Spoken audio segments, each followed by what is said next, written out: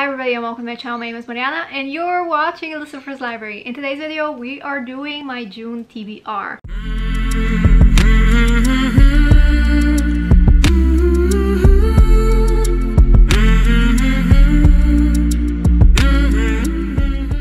So June is mostly going to be Dessertathon and I am the team leader for Spicy Shortcakes. I'm so freaking excited. Our genre is steamy and spicy books. So you can read anything from sci-fi to plague books as long as they have steam scenes you can be a part of my team. Yeah, I am putting in extra effort as a team captain to basically read books within the genre. So if you don't know, you don't have to follow your team's genre, but I really want to be a good influence, I guess, and you get extra points if you read within your team's genre. So all of the books that I'm going to talk about, I think have some spicy, steamy, smutty scenes that will get me extra points. So for spicy shortcakes, we have five ingredients. Flour, eggs, sugar, whipped cream, and strawberries. Flour is your favorite genre.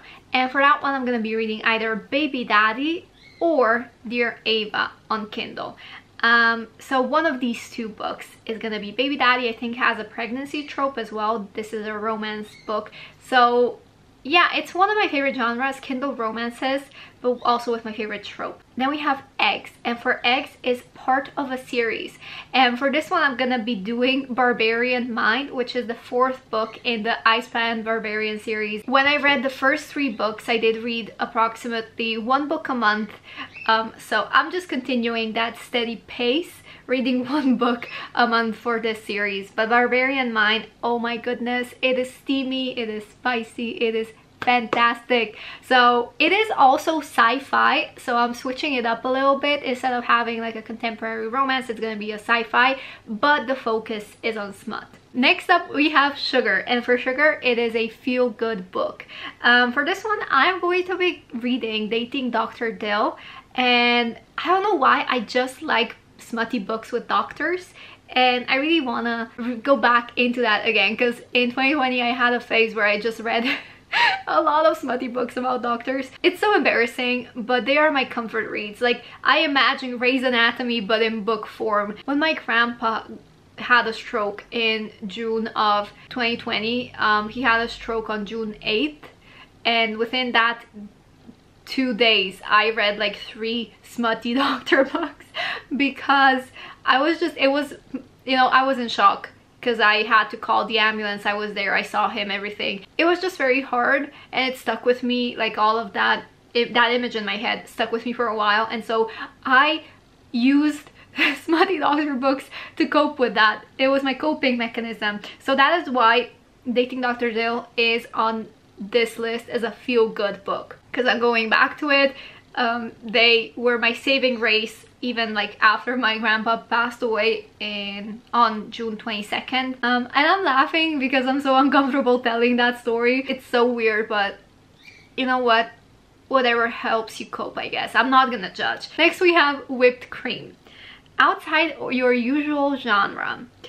Oh, oh my goodness. Okay, so for this one, it was really hard finding something that I am going to finish. Because if I pick up a thriller First of all, do we have smutty thrillers? Second of all, I know that if I pick up a thriller, I won't finish it. I'm just not that in that type of mood. I'm not that kind of person. I don't like thrillers. I don't like mysteries. I don't like my books to stress me out. So I went with a book that I, or a genre that I don't reach too often. Historical romance. I don't read as much historical romance as I would normally. However, here is also a little note. For this genre of historical romance, like this type, you have several types. You have Outlander, A Discovery of Witches, which isn't really, it's more like paranormal, historical, blah. For this one, I am choosing like traditional historical romance, like naked dudes on the cover or, you know, a woman in her dress and stuff. And I'm choosing a Tessa Dare book. I don't know, traditional, like classic, um, most hyped historical romance authors but I do know about Tessa Dare. So I am my my hands are doing overtime today. So I am going to be trying a Tessa Dare book. I think I'm going to be starting ro romancing romancing romancing the Duke. And the last book or the last prompt we have is strawberries published in the last 12 months so basically a recent release new release i guess um and for that one i am going to be choosing ali hazelwood's under one roof. I'm going to be reading the first book in the Steminist series uh, because I love the love hypothesis and I want to start reading more books from this author to see if it was just a one-hit wonder or if this author is actually my favorite. For the last book that I'm going to be reading is actually finally one book from my bookshelf. It is Heir of Fire by Sarah J. Maas. I am going to be buddy reading this with Naomi from Through My Library and we were supposed to buddy read it for May like the second we read one book a month and we read Crown of Midnight in May. We're supposed to. I didn't. I don't want to read Crown of Midnight. I don't like it so I'm gonna skip it and I'm gonna go straight into of Fire which I'm so looking forward to if I hadn't read this series before I would just DNF in Crown of Midnight and I would never pick up of Fire and that would be an absolute tragedy. Also today I have this like feeling I just want to read fae books. I, I, I'm in the mood to read, um, to reread A Court of Thorns and Roses and The Cruel Prince for some reason. But oh my goodness, okay, I'm reading this in... Hi Mango! I'm sorry, I'm reading this in June with hopefully Naomi if she still is up for it. But if not I'm still gonna read it. Anyway come.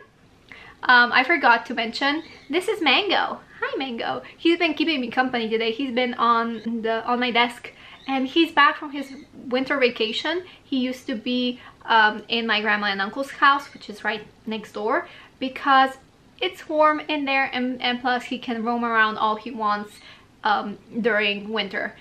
But now he's back with me because we moved kitchen. So we're not in the upper kitchen anymore but we're in the kitchen downstairs because it's colder during the summer there. And the kitchen upstairs is like really gets really warm. And then in winter we switch. We go to the upper kitchen. So yeah anyway he's gonna be with me just giving me company. Isn't that right? He's a good boy. Mango. mango's a good boy.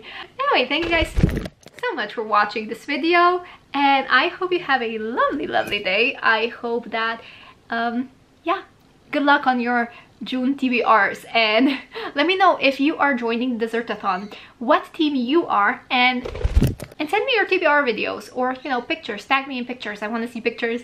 I've been loving all the spreads people have been doing and sending on Discord. By the way, I'm gonna link everything down below, also my video, my announcement video if you want to check everything out. But yeah, we're gonna go. Have a lovely, lovely day and we'll see you next time. Bye! Say bye, Bingo. Say bye-bye. I speak to him in English and in Slovenian. We love a bilingual queen. Also, he's a king. His full name is King Mango Henry VIII. Yeah, um, my outfit today, inspired by Six the Musical. Purple, my favorite queen, and Mango is also inspired by, Mango's name is also inspired by Six the Musical. Isn't that right? Mango King Henry VIII. I have a thing about naming my chickens. my, my, my parrot, my animals, all my animals long names. Lucifer's name is Lucifer Ariana Nessie Morningstar. Kara's name is Kara Litharwan de Levine. Mango's name is King Mango Henry VIII. I had a hamster called um, Frenchie Riss Sparrow. Jack Sparrow's dedication. Um, I had a parrot, Sir Skittles William II, and then I had a parrot, William Jace Herondale. I had a I had two fish, goldfish, Jesse and Arden. Oh my goodness, I love them. I miss them so much. Um, yeah, we love long names. Isn't that right, King Mango Henry VIII? okay, we're gonna go. Have a lovely, lovely day. And I will see you next time. Bye-bye.